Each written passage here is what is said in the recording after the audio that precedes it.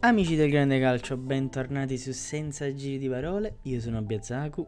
E io sono Tazzona. Oh, amico mio, facciamo questa prepartita di Napoli-Salernitana. La prossima Mm. partita che ci aspetta. Prima però vi ricordo di iscrivervi, di attivare la campanella per rimanere sempre aggiornati sui video che carichiamo. Se volete seguiteci su Instagram senza giri di parole e condividete questo video con qualche vostro amico appassionato di calcio così ci aiutate a crescere come canale. Tatsuna, che partita ti aspetti? Ragazzi, io non posso nascondere una certa positività per questa partita. No, era è come... No, vabbè, no, ma non esageriamo, eh, ma non ci inventiamo cose che non ci stanno. Abbiamo vincito all'andata a Salerno 2-0, certo sì, con i gol di Raspadone del uno se ne aiuta, l'altro ha smesso di segnare, però eh, la cosa positiva è che questi rimangono la 53esima squadra della classifica perpetua della Serie A e quindi io non sono preoccupato. Non sono, lo dico adesso, non sono preoccupato, anche perché tra poco abbiamo la, la Supercoppa e ci dobbiamo presentare in condizioni dignitose, quindi questa partita è difficile che si sbagli. Io non penso che il Definisci- Napoli sbaglierà proprio questa partita. Eh vabbè. Defini- io mi gioco il tutto per tutto, me ne fotto. Definisci dignitose. Vincere senza subire gol. ah, ok. Ve lo dico già da adesso. Ok, ok, ok. No, allora, parlando... Io ho parlato serio, io lo penso Eh, davvero, lo però... sai, ho capito. Parlando seriamente, Inzaghi non ha portato quello che diceva Neanche che avrebbe portato. No, ma vabbè, Mazzarri io non ho mai creduto, però invece Inzaghi ci hanno creduto in molti. E Invece la, la Sanitana è sempre quella squadra che si basa quasi completamente sull'aspetto caratteriale. Infatti è così che ha riagguantato la partita. riagguantato, È così che stava tenendo botta con il Milan. Eh, per il resto è una squadra che va molto in difficoltà quando tu la, la superi dal punto di vista tecnico. Se tu riesci, come ha fatto l'Atalanta, a metterli in difficoltà, che loro si erano portati in vantaggio a Bergamo, perché tecnicamente sei superiore, loro soffrono parecchio perché non è che possono compensare 90 minuti con, con la sola garra. Ma a noi è vero che la garra manca, però Vabbè. voglio dire, Biazza non, non si... Ormai il, to- il fondo l'abbiamo toccato, no? Mm, Quindi... Vabbè, andiamo alle formazioni. Allora, probabili formazioni. Gollini in porta. Eh, Rachmani, Juan Jesus. Perché non ci sono altri difensori. Di Lorenzo, Mario Rui. Perché non ci sono altri terzini. Perché avevamo comprato uno nuovo, ma Mazzocchi ha pensato subito di togliere.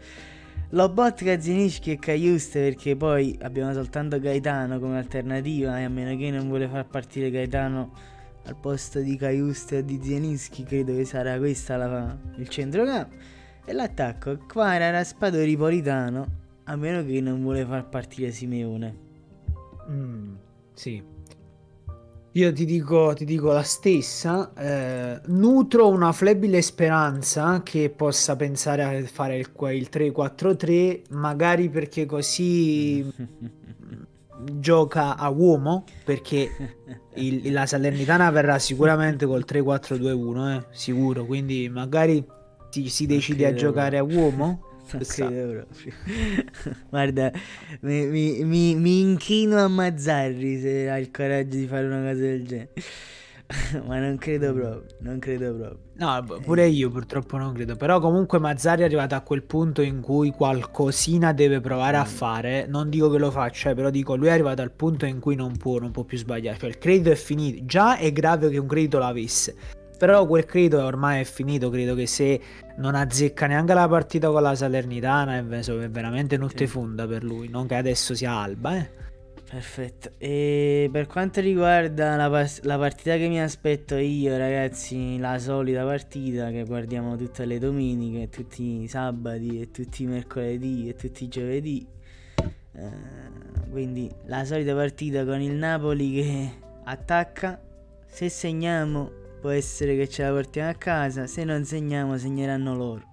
Questo è proprio... Ormai ti giuro mi, di- mi scoccia anche di analizzare l'avversario, analizzare la nostra situazione perché è effettivamente così, cioè si può semplicemente sintetizzare il tutto in se eh, i vari Zielinski, Kvara, Raspadori, Politano e Caiuste, non ci metto anche gli altri che... Ah, vabbè, nominiamo Di Lorenzo, ma gli altri non segneranno mai. Eh, se questi riescono a centrare la porta almeno una volta in questa partita, forse ce la portiamo a casa. Se anche in questa partita non riescono nemmeno a prenderla la porta, in 7 metri di porta, a un metro, nemmeno con le mani riescono a buttarla dentro, allora probabilmente o pareggiamo o vince la Salernitana perché ci sarà il solito secondo tempo dove sale pure Gollini in attacco pur di fare il gol del vantaggio e quindi pure un bambino, una squadra di, di, bambini segnerebbe in contropiede contro una squadra messa così in modo così offensivo nel secondo tempo quando stanno pure stanchi. Eh. io ti dico, mm, io rispetto della Salernitana come squadra perché secondo me hanno delle individualità talvolta pure ottime, cioè ti posso citare Castano, ti posso citare Cabraso, giocatori che a me piacciono, Pirolan, parliamo però, però come squadra è piena di problemi e Inzaghi non mette in campo una tattica, non impiega una tattica molto sofisticata, quindi mh, le debolezze del, della Salernitana sono veramente tante, cioè per esempio la Salernitana un paio di anni fa era almeno forte nei duelli aerei, invece ora c'è una percentuale che fa ridere, cioè una squadra che ha difficoltà a difendere sulle fasce, difendere per le vie centrali, non è brava a praticare il fuorigioco, anzi ha preso molti gol con questi passaggi filtranti alle spalle dei difensori, non è brava a mantenere la palla, gioca aggressiva ma non c'ha una buona percentuale di recuperi alti. È una squadra che pure sui calci piazzati subisce un sacco di gol, cioè sta rovinata.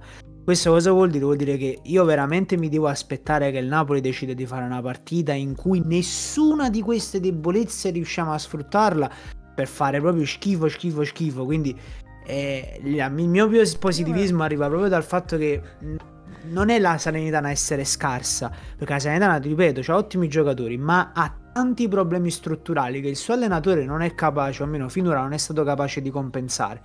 E, e, il Napoli invece ha tanti presupposti che la possono portare a sfruttare queste cose, tipo eh, il fatto che loro non riescano ad evitare il fuorigioco. Per una squadra come noi è, è, è, è l'Eldorado poi, ovvio, il Napoli è sempre nelle sue mani il destino. Se il Napoli fa un'altra partita come quella di Torino, è normale che pure il, la Salernitana eh, te, te, ne fa quattro come te l'ha fatta il Frosinone. Sì. Questo è naturale. Ma... Però sì, se, se, devo dirti proprio come la penso, per me dobbiamo veramente, veramente raggiungere un fondo incredibile per perderla male questa ma proprio, partita. Ma proprio per questo motivo ormai non riesco neanche più a pensare ai punti deboli dell'avversario, perché alla fine, so. pure una squadra in forma come il Torino, tu le due occasioni le hai avute. Il problema è sì. che non hai segnato. Quindi la Salernitana magari ci concederà 18 occasioni, ma se tu non centri la porta puoi avere tutte le, puoi sfruttare tutti i punti deboli della Salernitana, ma se non segni, non segni, mi dispiace.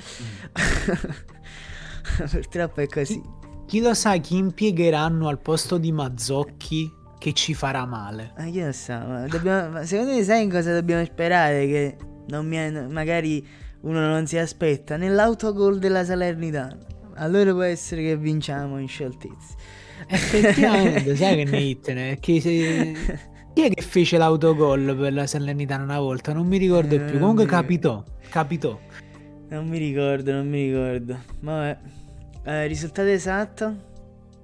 Uh, eh, 2-0 come il Napoli come all'andata. Facciamo gol di Raspadori come all'andata e al posto di Elmas stavolta segna uh, Lindstrom. Okay. Guarda, voglio, fa- voglio proprio una giornata eh, incredibile per il Napoli. E poi troviamo pure 100 euro a terra in salone a casa.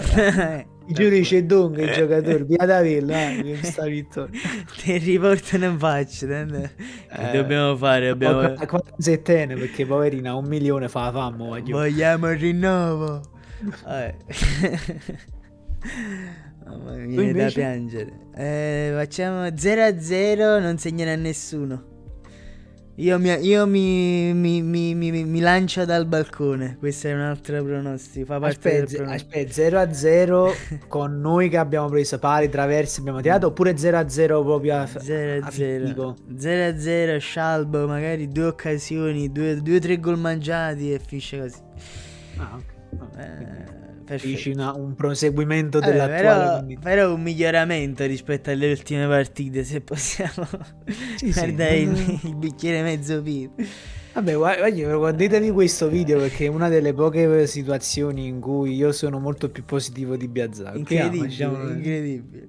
Vabbè, ma quando giochi con la 53esima squadra classifica della Serie A devi per forza pensare positivo. Se vince la Salernitana sapete con chi ve la dovete prendere, eh? Perfetto, Forza Napoli sempre. Ah no, aspetta. Se sei arrivato a questo punto del video devi scrivere nei commenti 53. 53. E condividi il video adesso in questo con i Salernitani con, con i tifosi della Salernitana bravo. Forza Napoli sempre aiuto